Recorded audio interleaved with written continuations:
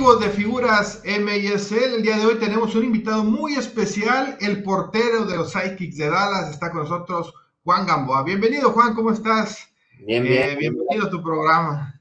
Uh, muchas gracias, gracias por tenernos. Uh, aquí estamos para conversar un rato y a ver cómo, cómo nos va.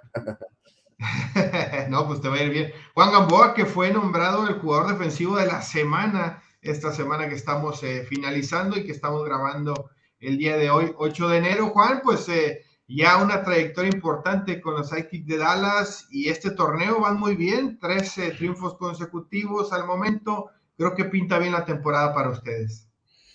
Sí, gracias a Dios eh, se están dando las cosas ahorita. Usted como, como todos saben que hemos tenido difíciles años en el pasado, pero ahorita traemos buena racha y esperamos poder continuarla.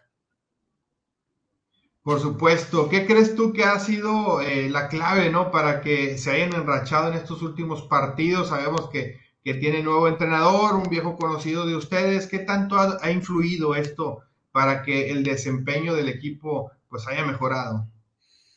Ah, pues la verdad, I como dice usted, Ricardinho ha estado con el equipo por muchos años, nos conoce a, todos y ha trabajado muy bien y, estamos muy contentos con él, pero igual sabemos que, que Pablo ayudó a crear la, la fundación del equipo y dio las ideas que, que se necesitaban para que pudiéramos mejorar en, en el funcionamiento y ese tipo de cosas. Y Ricardinho ha entrado dándonos su confianza y su, conocimiento del fútbol y, gracias a Dios, como digo, hemos podido sacar las victorias con él. Claro, ¿tú cómo te has sentido en lo personal? Eh, obviamente cuando estás en un equipo que pues está sufriendo, que no tiene tantas victorias, que constantemente pierde y eres el portero, pues lo resientes mucho, ¿no? La estadística en tu caso, pues no es la mejor, pero ahora que ya estás viendo la otra cara de la moneda, pues ¿cómo te sientes, eh, Juan, en esta temporada? No, pues como dice usted, han sido unos difíciles años, principalmente para mí, que al final del día todos ven el marcador y, le echan la culpa al portero, eh, no sabiendo cuánto, cuánto esfuerzo y cuánto le echamos ahí en cada partido, pero um, I mean, se siente bien poder ganar, se siente bien estar en, como dice usted, en el otro lado de la moneda. Esperemos que podamos continuar y, yo seguiré echándole todas las ganas y tratando de ayudar al equipo en cualquier forma que yo pueda. Comentábamos eh, antes de empezar la grabación, eh, Juan, que ya tienes, ya echaste raíces ahí en Dallas. Tú eres tejano de nacimiento, pero de la zona sur, ya cerca de la frontera. Ahora en Dallas, ¿cómo te has sentido? ¿Cómo es tu vida en Dallas? ¿Cómo, cómo, pues has, caído ahí en la, en la sociedad de, la ciudad tejana de los Sidekicks. No, pues me, ha caído muy bien a mí. Yo, yo me acuerdo, me acuerdo poder ver los Sidekicks cuando yo era chico. Íbamos a la Reunion Arena, yo y mi papá, y, cuando se me presentó la, oportunidad de, formar parte del equipo, a mí hice lo posible para poder yo llegar acá y lo primero fue encontrar un trabajo estable que, me ayudaría a poder estar acá solo y, encontré un trabajo de maestro en una preparatoria y estuve, I mean, llevo siete años acá trabajando de maestro, de coach y, y pudiendo jugar el deporte que más me gusta. Ok, entonces eh, la invitación de los ITICs llega, pero tú también buscaste otros trabajos para poder solventar y poder estar jugando en aquella ciudad, mudarte de ciudad para, para poder estar jugando. Tú eres de Brownsville, moverte a Dallas, que no está tan cerca, y entonces ya poder desarrollarte y, también tener este otro trabajo que supongo que es un trabajo que, que te da mucha satisfacción, ¿no? Y, y, pues no se le podría a lo mejor llamar trabajo, ¿no? Que es jugar al fútbol con tanto que nos gusta a nosotros este deporte, ¿no? No, sí, como dice usted, es, lo que más nos gusta hacer y, mientras se pueda seguir haciendo a buen nivel y ayudando al equipo, lo vamos a, seguir trabajando. Y como dice usted, me, lamentablemente nuestros salarios de jugar no, no son lo suficiente para sobrevivir en una ciudad como Dallas. Así que lo primordial fue encontrar trabajo y, y ya estar más tranquilo en ese lado de, de la situación y, y, como digo, gracias a Dios a la organización, a las escuelas con las que he trabajado que, que me han dado la oportunidad de seguir haciendo las dos cosas.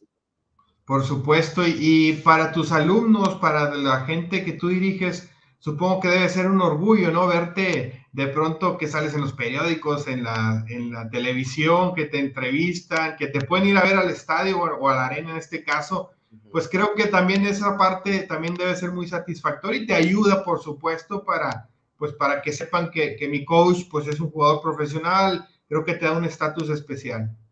Sí, es algo bonito, como dice usted, que, que los muchachos de repente le, cuando llegan a, a una nueva escuela este año y no les quise decir mucho, pero ellos mismos empiezan a buscar y, empiezan a encontrar cosas en Google y, eh, sabía que estaba en Google y la sí, pues sí, sí, estoy jugando y ya les explico y, y no, pero sí muy, igualmente son, ya sabe cómo son los muchachos, eh, coach, ¿qué pasó? Le metieron ocho goles y también se la llevan de los dos lados, pero pues es, es lo bonito de que como dice usted, ellos saben que yo todavía sé un poquito del fútbol y, y me ayuda en ese caso también. No, claro que debe ser muy, muy satisfactorio para ellos, muy motivante eh, ver que, que, su coach es un profesional ¿no? y que todavía está en activo. No cualquiera tiene esa posibilidad y supongo que, que eso debe ser muy, muy bonito para, para tus eh, jugadores, Juan. Eh, ¿Cómo te sientes tú personalmente? Ya eres un veterano, eh, tienes un liderazgo importante en el equipo de los Sidekicks. Pues, ¿cómo crees que ha evolucionado tu carrera después de aquel debut allá con el equipo del Flash, cuando era el equipo tejano del Flash allá en Hidalgo, Texas? Ahora, ¿cómo has evolucionado? ¿Qué tan, qué tan más hecho te sientes como portero? No, pues como dice, muy agradecido de poder seguir jugando. Esta es mi décima temporada jugando. Ah, y gracias a mí, todo empezó en el RGB Flash con el coach Mariano Bolela, con el dueño de Gerardo, que, que fue dueño del Flash por mucho tiempo, sigue siendo. Um, le doy muchas gracias a ellos por darme la oportunidad y, y en esos años mi trabajo era muy simple, mi trabajo era tratar de tapar balones que pasaban, que no eran muchos, gracias a la gran defensa y grandes jugadores que, tuve esos años, grandes figuras de, ahí de Monterrey que, todavía considero amigos y, aquí en estos últimos años, como dice usted, me ha tocado ser más ah, fundamental para el equipo.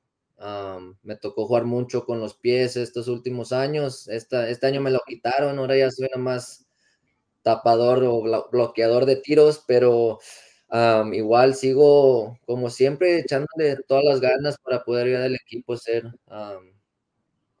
ser triunf para poder triunfar y, darle la mejor ah, oportunidad al equipo de ganar.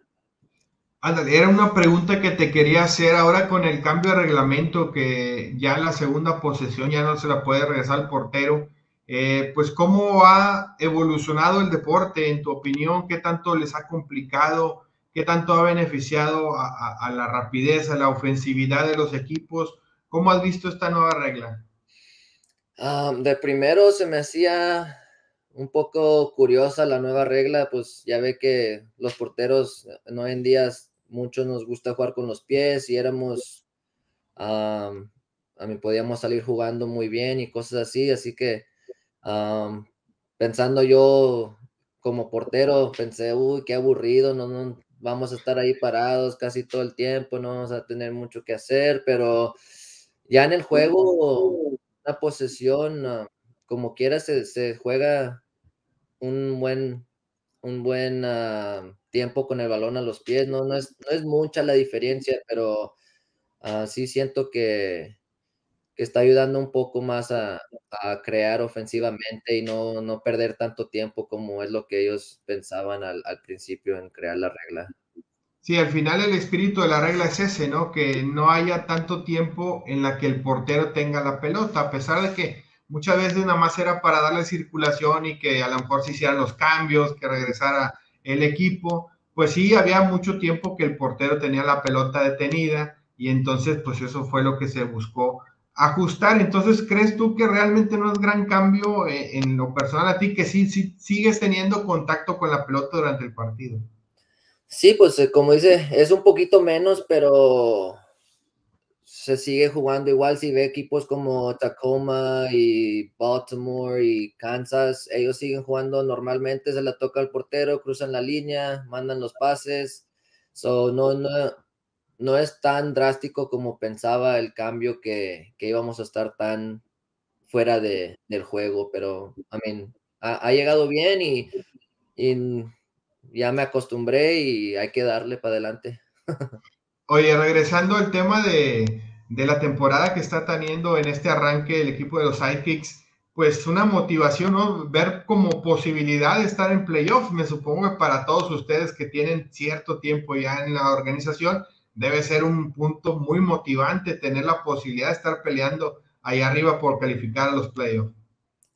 Sí, a mí siempre como le digo, nosotros luchamos por hacer el mejor trabajo que podamos y, y nomás saber que, tenemos la oportunidad de estar peleando en, para los primeros dos lugares que, nos acercarían a los playoffs es algo muy motivante y algo que, hemos tratado por mucho tiempo. A mí, en esta organización siempre ha sido una de las mejores y lamentablemente los últimos años no hemos podido tenerla arriba como debe de estar, así que vamos a, luchar y darle todo a la, a la organización para que regrese a los, a los lugares de arriba. De ahí de su división, ¿quiénes crees tú que vayan a ser los, los equipos a vencer para poder estar en, los playoffs? No, pues a mí, nuestra división es muy difícil. A mí, ah, hoy nos toca contra Kansas, que no ha perdido y le ha ganado unos grandes equipos ya esta temporada. Igual St. Louis anoche le ganó a Tacoma, so ahí están todavía en la pelea. Tan, a mí falta mucho tiempo y, y Milwaukee ya sabemos que no podemos contarlos fuera nunca. Han tenido una mala, mala mal comienzo, pero no, se les puede dar por muertos nunca a Milwaukee con la gran experiencia y jugadores que tienen. Por supuesto, Milwaukee que está, está peleando. Hoy vas con contra Kansas con Leo Gibson, también un gran jugador que está encendido, está buscando ahí un récord de los 400 puntos. Pues sin duda siempre enfrentar ese tipo de figuras ha de ser eh, muy, muy satisfactorio y muy motivante para ustedes. No, sí, sí, como dice usted, Leo Gibson, una leyenda en el fútbol de arena y cada vez que lo enfrentamos crea peligro, crea problemas, es muy inteligente, es muy difícil de marcar y, como dice usted, nuestra meta es tratar de detenerlo lo más posible, aunque a veces no se pueda, él, él busca y encuentra la manera de hacernos daño. Claro, en el tema ahora con la pandemia, con el COVID-19, eh, pues ahora de nueva cuenta ya puedes tener aficionados en, la arena, ¿no? Creo que eso es muy, muy motivante. ¿Qué tanto afectó no tenerlos y ahora que lo tienes, qué tanto motiva? No, siempre los, los fans de aquí de Dallas han sido muy leales, nos han, nos han apoyado en los momentos difíciles, nos han apoyado en en todos los momentos, así que teniéndolos ahí y escuchándolos alentar y disfrutar, más que nada que disfruten ellos el juego es lo que más nos hace sentir bien cuando, cuando vamos ganando y ellos ya pueden celebrar y cosas así, pues como digo, no lo habíamos sentido mucho en esos últimos años, así que se siente bonito poder darle esas alegrías a, a los fans. Sí, claro, ya nos acostumbramos, pero sin duda fue una situación inesperada y que nunca habíamos vivido y que cambió por completo la dinámica de los deportes y de la vida misma nuestra, ¿no? Yo creo, Juan, que pues ahora no es lo mismo que hace dos años que no había COVID, ¿no? Sí, sí, pues como dice, el solamente viajar en avión ya ve que tenemos que traer las máscaras y pues, checar las vacunas o checar que los exámenes y eso es un cambio difícil, es un cambio diferente, pero seguimos haciendo lo que nos gusta y con lo que tengamos que hacer, vamos a hacerlo para, para seguir con el deporte. Por supuesto. Juan, ya por último, me gustaría, si les quieres enviar un mensaje a los aficionados de los Psychics y a los aficionados en general también del fútbol rápido, el indoor soccer, eh, de México, de habla hispana, me gustaría que te comunicaras con ellos para que sigan la liga y sigan eh, apoyando a su equipo favorito.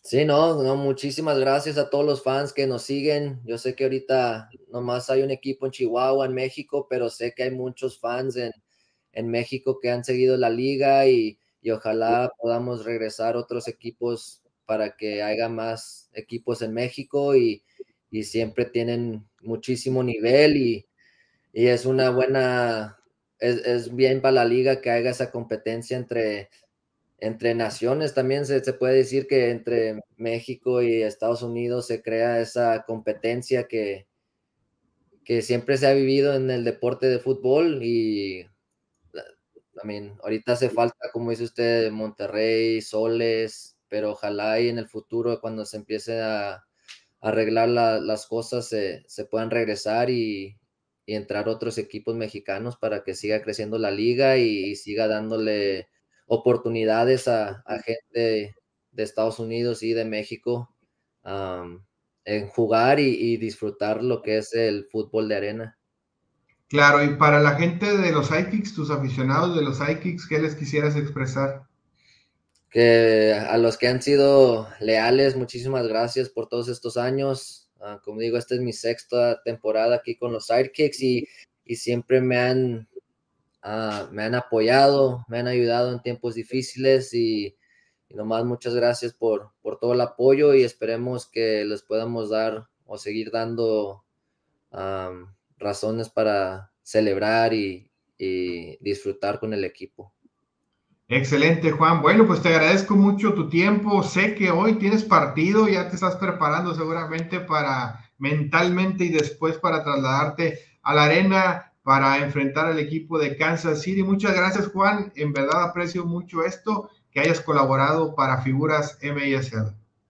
No, muchísimas gracias a usted, Oscar, y y aquí estamos para lo que necesite y muchísimas gracias por traer esta, este tipo de programa a nuestra, nuestros fans que hablan en español. Por supuesto. Bueno, pues esto fue Figuras MISL. El día de hoy estuvo como invitado de honor Juan Gamboa, el arquero de los Psychics de Dallas. Hasta la próxima. Gracias.